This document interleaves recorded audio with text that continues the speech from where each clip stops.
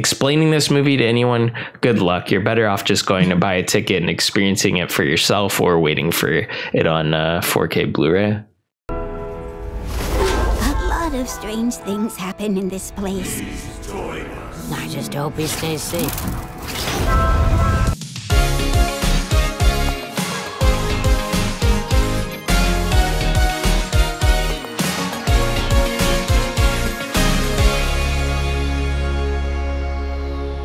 What's up, YouTube? Drive By Movies here, and you're watching Fresh releases. My name is James. My name is Blaise. And today we hit the movie theaters and we went to go see Miyazaki's new film, The Boy and the Heron. You see this world? There's more work to be done. Hayao Miyazaki's A Boy and the Heron follows a teenage boy's psychological development through encounters with his friends and uncle. He enters a magical world with a talking gray heron after finding an abandoned tower in his new town. So this is Hayao Miyazaki's final film. Well, uh, apparently, I mean, we won't know until until he drops dead, I guess. Uh, if the, if this is his final film, but uh, as it stands right now, this is his final film.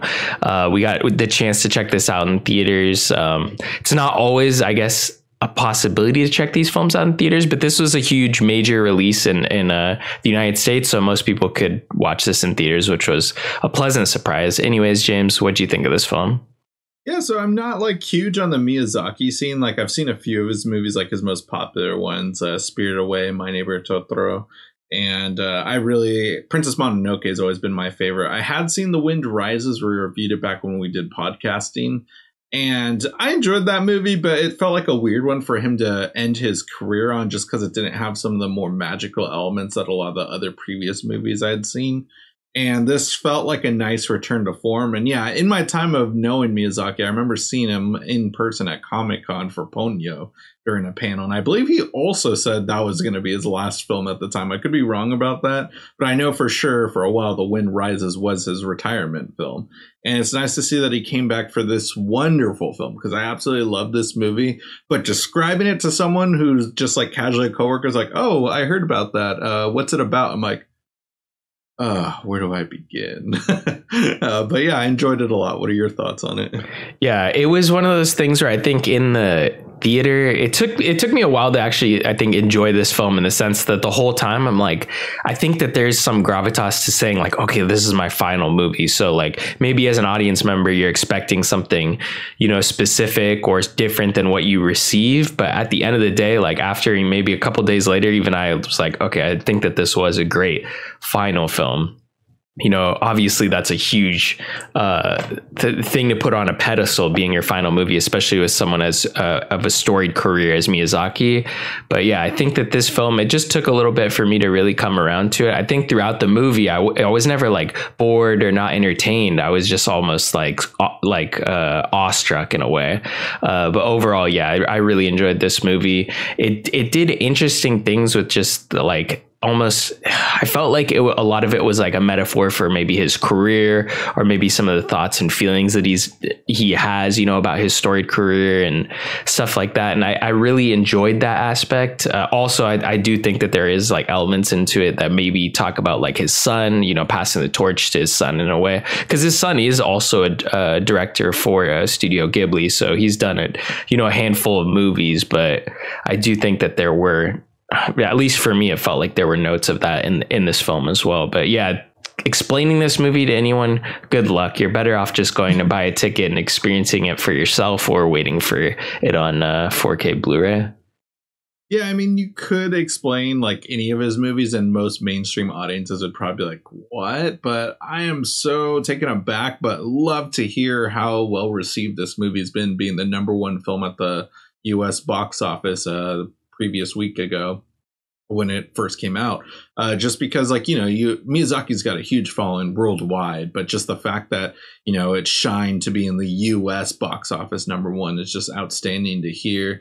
And then after you know i just saw godzilla's minus one a couple weeks ago too and hearing that that made like I think it made over 10 million its first week in the US and it was only supposed to be here for one week and the fact that they're adding screen times weekly just to meet the demand. It's just awesome to see because I remember just we've made fun of it throughout the years having this YouTube channel and just you can't like make movies like to cater specifically like with the Star Wars films, the Marvel films like at the end of the day, just make a good movie. Like, because a lot of those movies are like, oh, well, we got to add some elements so that way it's a box office hit in China. At the end of the day, just make a good movie and it will do well worldwide. You know, it might not be the case for everyone, but that should be first and foremost the most important thing. And that just goes to show how long ways, like, you know, Miyazaki or a character like Godzilla, you know, no Godzilla movie has done this well, but because it's just getting such great word of mouth and Miyazaki is always making legendary films, at the end of the day, your film will perform well in another country despite it being in another language. And I just love to hear it. Look at Parasite and you know, I'm, it's just great to see that movies uh, from other countries are doing so well in the U.S. and I've absolutely loved it.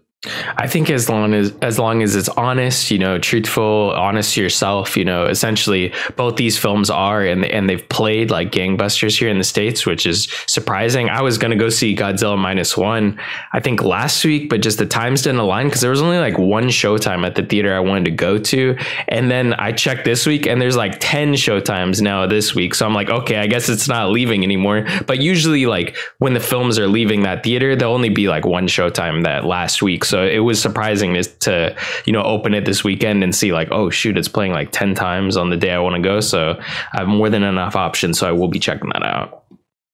Yeah. And uh, also just like, yeah, the with good word of mouth, look at it. Like uh, TikTok's blowing it up. That movie, you know, Godzilla. Like uh, you know, I guess we're reviewing both movies at this point.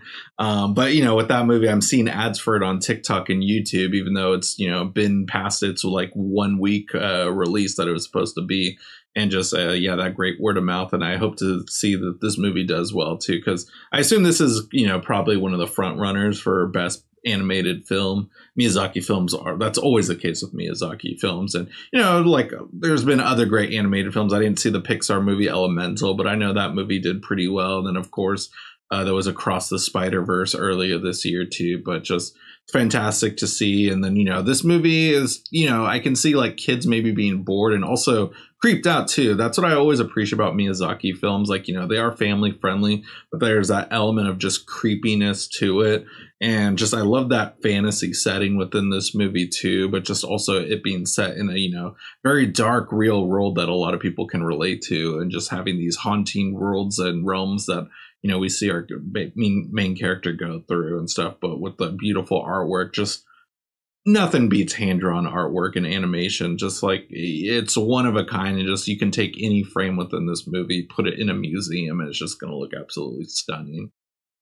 Definitely. Uh, oh, I've been meaning to ask: Did you see this subbed or dubbed? Because I was curious about that. Yeah, so there were a lot of screen time. Uh, what's it, or there were a lot of screenings in both options. Um, what worked out for me, I was intending to see it with Jap- in Japanese with the English subtitles. That's what I intended to see it in, and that is what I saw it in. Uh, it worked out for me, but I do like with most Miyazaki films that they usually get really good dubbing. I'm not sure what actor they went with for the English dub version. It's Robert um, Pattinson as the heron, apparently.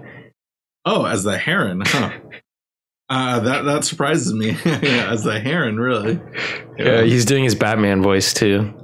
Oh really? No, I'm kidding. It, it, it, honestly, when I I watched uh, some excerpts from the dub, I, I, saw the sub as well, but I watched some excerpts from the dub, and the voices almost sounded very similar to the sub. They're just in English, so I was like, oh, that I couldn't even tell that it was Robert Pattinson. It literally just sounded like the Japanese voice actor was just doing speaking English. Like yeah. it, it kind of sounded. I mean, similar. yeah, I'm not one that needs to see stuff with English subtitles, but I will always prefer it, um, especially you know when it's a film from another country um, just because you know the acting just comes off way better. But with Miyazaki films, like you know, I'm happy to show a dub version of like Spirit Away just because the voice castings that is great, as well as The Wind Rises. Um, I think those are the only two movies I've seen the dub versions. I think everything else I've seen the original Japanese versions. Mm-hmm. Yeah, th- I think that the dubs are always like pretty good. Like I remember watching, you know, as a kid, only the only the dub version. So for me, I would always gravitate for his films probably more towards dubs. I, I I'm not really one to you know argue for the sub versus dub but yeah, I, I, think that you know it's sub or dub. Just as long as you watch the movie, I feel like you know both are going to be good. And especially Miyazaki, they put so much money into the dub, like it's gonna be good. You know, I'm sure you know in some aspects maybe it could be better than than the sub or the sub's better. It doesn't really matter at the end of the day. As long as you see the film and you enjoy it, that's really what matters. Yeah. But yeah, now thinking about that though, I can't imagine uh, Pattinson. You know, just because the heron, when we see the true form of the heron, it's you know kind of horrifying. The whole time I was like, "What is up with this bird with human teeth?" And then you know when you see the true form of the heron, that was like, oh, "Okay." But imagining Pattinson's voice on there, kind of. I mean, it kind of weirds me out, but it sounds like a cool, like you know, uh, cool character actor to place for that character. Um, but yeah, this movie is just like, you know, a crazy acid trip like a lot of Miyazaki films. But yeah, I just love seeing like just, you know, these weird parakeet armies.